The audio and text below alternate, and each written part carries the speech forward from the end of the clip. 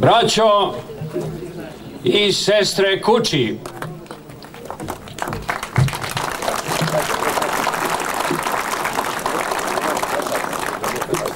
Evo me prvi put u kućima na poziv kulturno-umetničkog društva koje nosi ime Marka Miljanova, a podavno sam želeo da dođem, da se poklonim i vama, i ovim grobovima, i ovim krševima, i ovim senima koje priziremo na njima. Odista ste mogli pozvati i dostojnijega i pozvanijega, ali niste obaveznijega da se odazove, ni zahvalnijega što ste ga se setili baš u ovim vremenima.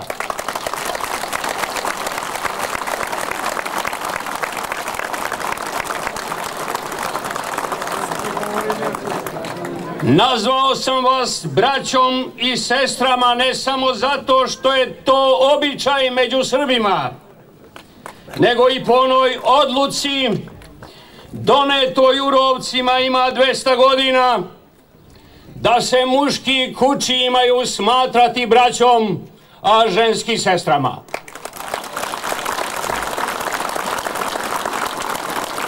Ova strašna ura, ovaj polom, ovo mesto, narod Marka Miljanova, zaslužuju visočiju i dublju i zasnovaniju reč od one koju ću ja danas ovde reći. Ali na moju žalosnu utehu, možda danas i nemamo nikoga ko bi imao znanja, morala i pameti da je kaže. Proteći će mnogo vode, dok saznamo istinu o ovim događajima, čije smo žrtve više nego učesnici. Biće najbliže istini ako kažem da je ovo nova para kuća, samo što su kući postali sva srpska zemlja i što je pod nož stavljen sav srpski narod.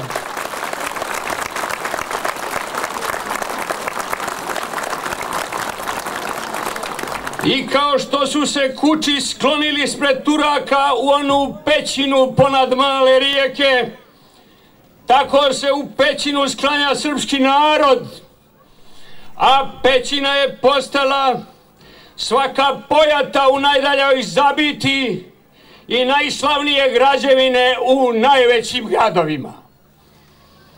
U te pećine nas je ugnao na pragu 21. veka u sred Evrope ognjem i mačem najmoćniji i najkulturniji silnik i države sveta.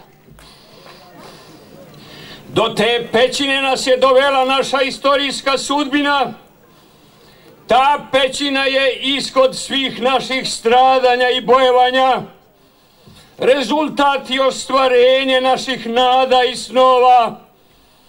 Ta pećina je plaćena ne sa dve užice, nego sa okeanom krvi srpskoga naroda.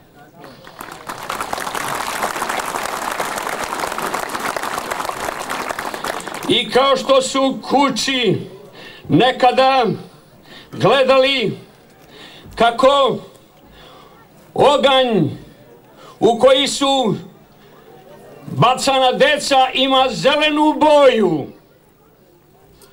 U tu boju tog plamena još jednom se uverava srpski narod čiju decu gore bombama NATO pakta.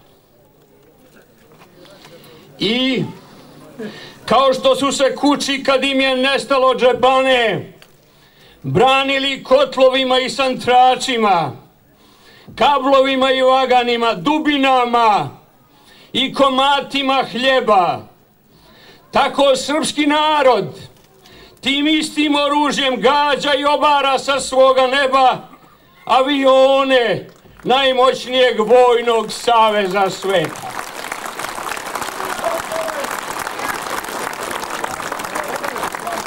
Ali za razliku od turskih vremena kad su se kućima u nevolji našli rovčani i odveli ih u rovca, danas ni kući, ni rovčani, ni svi Srbi zajedno posle mora krvi prosute za pravdu i slobodu na celom svetu nemaju ni svoje rovčane koji bi im pritekli u pomoć, ni svoja rovca gde bi sklonili glavu. Kao kuć, mrem prilično srećan, a kao Srbin nesrećan i nezadovoljan, oporuka je Marka Miljanova. Danas bi umro nesrećni i kao kuć, i kao Srbin, a ponajviše kao čovek.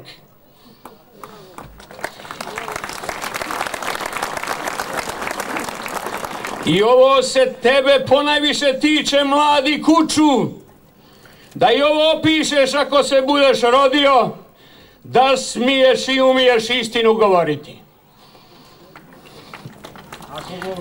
Primeri čojstva i junaštva stali su u jednu knjigu, a za primere nečoveštva mala je i čitava biblioteka.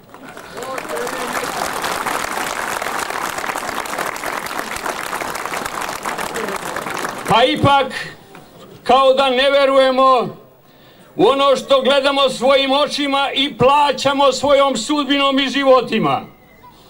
Nemamo kome da pokažemo svoje rane, nagone nas da krijemo tuđu sramotu. Ono što se danas događa Srbima, mrlja je na obrazu čovečanstva, sramota ljudskoga roda.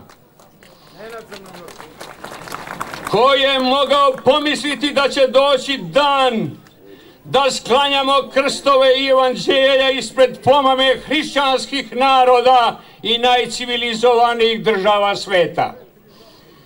Ko je mogao usnu sniti da će poluvekovni triumf najgorih đaka smeniti triumf najgorih ljudi propašću komunizma da će se Kominterna preseliti u Washington, da će Blair postati Todor Živkov, Širak Čaušesku, a Havel Husak.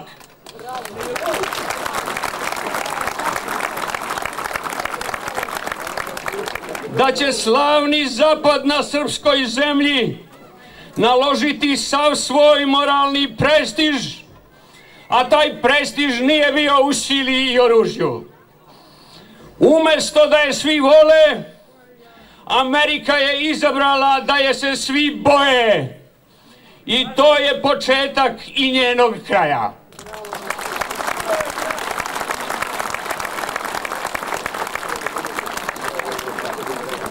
Mi nismo mogli birati.